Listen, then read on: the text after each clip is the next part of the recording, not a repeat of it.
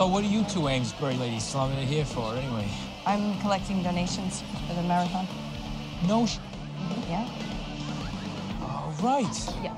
You got a jar, huh? With pictures of yourself. That's so great. So you show people pictures of yourself and then you ask for money. Yes. That's very, works. that's a smart, smart idea.